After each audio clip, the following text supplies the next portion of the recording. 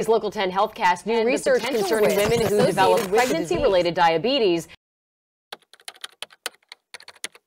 Um, I'm a maternal fetal medicine specialist. With gestational diabetes, there generally aren't any symptoms. The average percentage of pregnant women in South Texas with gestational diabetes is almost three times the national average. About gestational diabetes. A new study by researchers at Kaiser Permanente has given pregnant mothers something new to worry about. And the potential risks associated with the disease. If you develop diabetes during pregnancy, your child might be more likely to have autism. As most people know, when you're pregnant, you have to do a sugar test. And I think they normally do it between 24 and 28 weeks, somewhere in there. So the way I remember it, you went for your blood sugar test the same day I had just started the chiropractor and had an assessment. And you came over after the blood sugar test. And the funny thing is, we never thought anything about it. Mm-hmm. Like I got a notification that a test result came through. And I knew it was my sugar test, so I pulled it up. And the numbers seemed odd, and I was like looking at it, but I didn't really. We were in the middle of the appointment, so I didn't say anything to Michael right at first. And I was like, that just seemed. I was thinking to myself, that seems high. for it to be such a big deal and they don't do it till so much later, just kind of amazes me.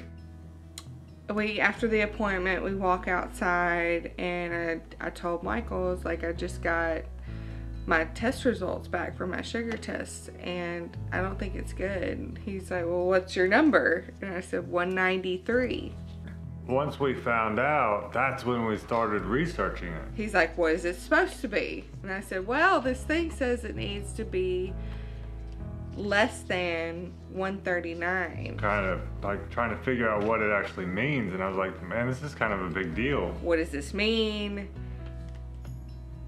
Then we Googled, which is like the worst thing you can do because if you Google symptoms or certain um, ailments or diseases or diagnosis and all that stuff, we all know you'd be dying by the time you look at it for 20 minutes. You know, they're talking about the baby could have diabetes, you could end up with diabetes.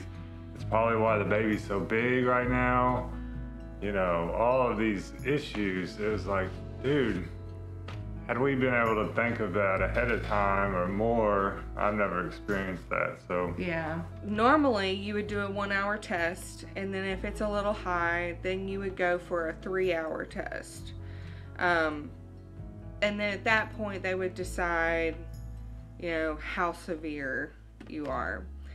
Mine was so high at 193 that they just skip the three hour test and automatically start having you check your sugar, you go on a special diet. she calls and they're like, yeah, we're not even going to do the three hour test. We've already called you in a script at the pharmacy. Go down and get the stuff. You know, we pick it up. She's got to start pricking her finger every oh, two hours after she eats, like all this stuff. She's got to go meet with a dietitian.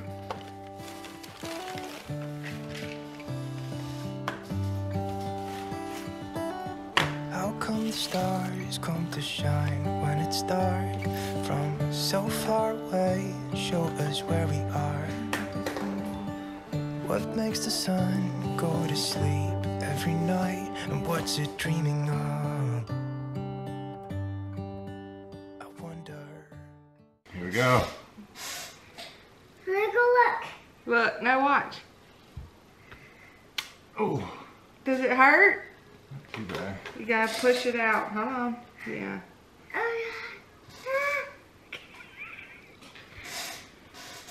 Ew. She said, ew. 109. That's good. And at the same time, my iron levels were low. So I also had to start taking um, iron supplements. so We're thinking, like, dude, did we do something wrong? Could we have done something different? You know, what's the outcome? You just naturally go into this, like, freak out mode, kind of. But you come back around, it's like all we can do is our best from this point on. Mm-hmm. So we started cleaning out the cabinets. There's a bunch of rules like you can't go more than 10 hours without eating overnight. That's your fasting number.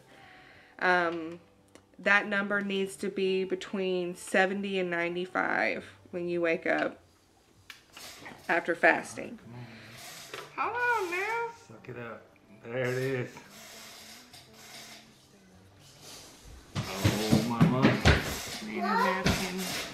Mama.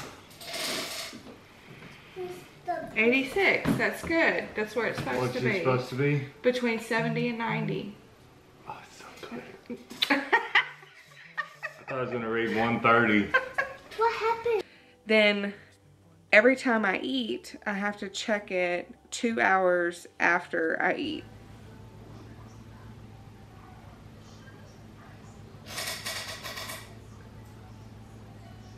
That number needs to be normal. between supposed to be around 120 120 and 140 really they want it below 120 if it's above 140 that's a concern. That's high. Really anything above 120 is kind of high but you know usually it's because you ate something. It's not severe right? If I'm constantly getting numbers above 140 after I eat, two hours later, they're concerned. They want to put me on medication to help re regulate it. So we went and we cleaned out the pantry, the refrigerator, um, and I really just started testing every time I ate and I would eat different things because I wanted to see what was affecting me how. So like I started noticing that any sort of carb, noodles, any kind of bread, anything would make my sugar skyrocket like in the 170s. A simple sandwich on white bread. We found carbs is her thing. Like, and it makes sense because the older you get, the less you you can't process carbs the way you could when you were a kid. I had chicken homemade chicken noodle soup from my awesome mother-in-law that is so good. You'd think chicken noodle soup, right, is healthy. You eat it when you're sick, you know, it, it makes you feel better. Yeah, well, it made mine go up to like 150, 160.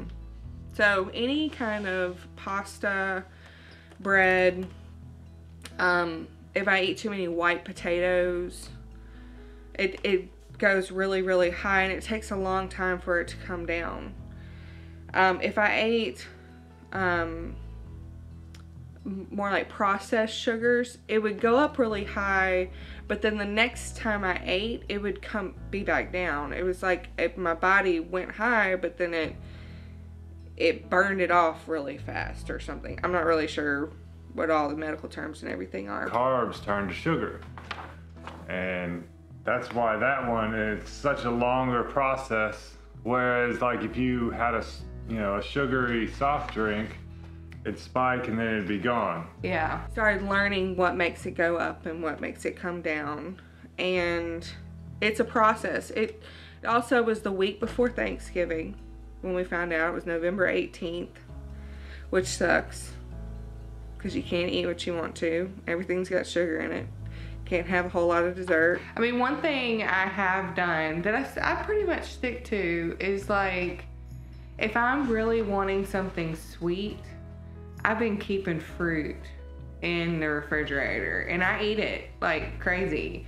Uh, you can't eat a ton of it, but berries, any kind of berries have lower sugar, so, um, and they have antioxidants like blackberries and blueberries are really good for antioxidants, which are good for you. Finding a schedule of eating was really, really hard because that's the other part of it. You think like, oh, if I just eat right, if I eat the right things, it's fine. Well, it's not. Um, I'm a person by nature that I'm a nibbler. I I snack on things all day, and I usually eat like one real meal a day. Um, sometimes two, but I'm not like a three meal a day, certain times, all that stuff. I usually try to fill a meal with some coffee and you know whatever. Well, if I would go four or five hours without eating, when I ate, didn't matter what I ate, I would notice that my sugar would go up. And it's like your body's kind of going into shock, is what my nutritionist said. That's the other thing. I had to go see a nutritionist so they could tell me how much I need to eat, what times, and all that stuff.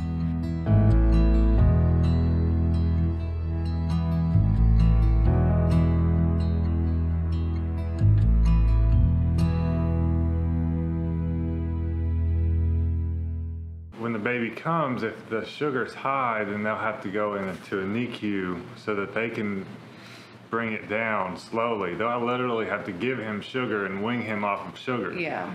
And he's going to be a bigger baby. Like typically babies are bigger. That's why he's so big.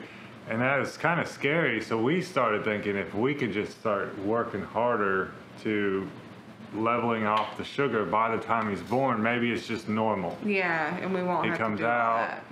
Everything's as if it's a normal thing. That's what we're hoping for. This, you know, it's kind of scary, all the, just birth in general, but, so that's all we've been doing. Like, we've been trying to avoid Googling stuff. We just, you know, pray about it and do our best. He holds me accountable too. And, yeah, by the, you know, I'm not gonna lie, when you've eaten pretty much anything you want to eat for your whole life, and then you can't eat, yeah.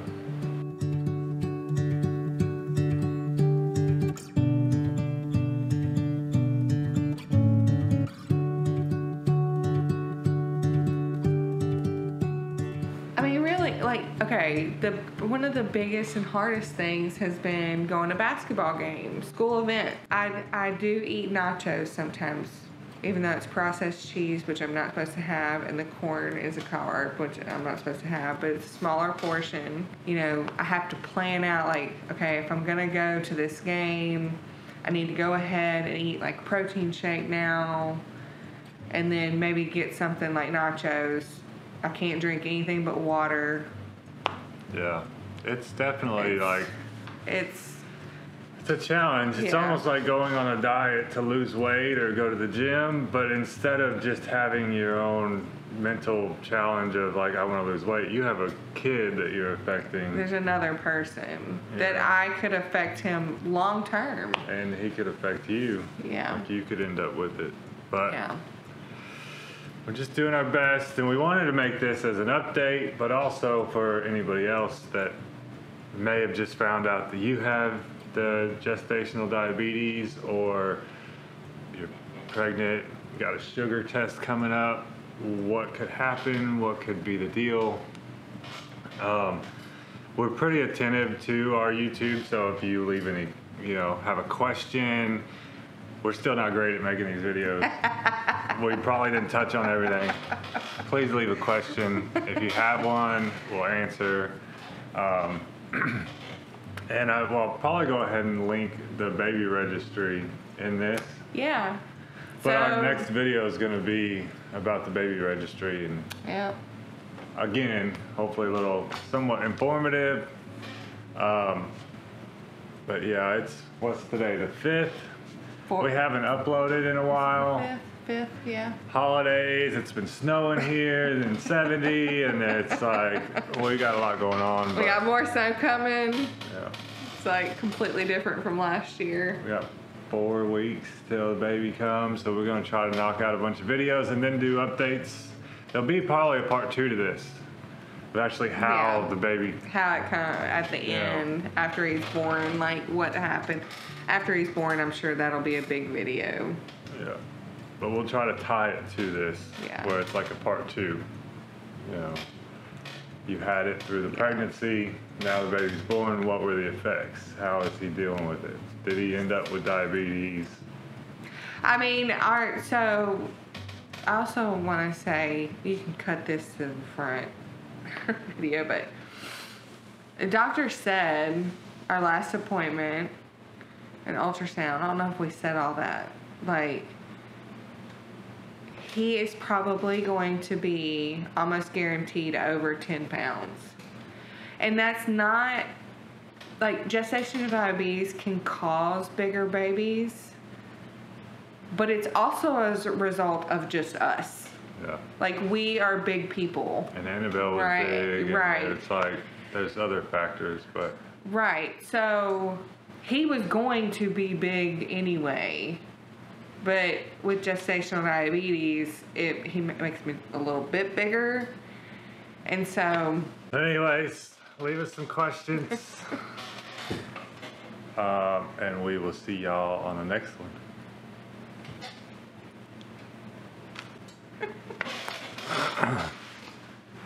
that light is so bright. Skip, you didn't say anything the whole time.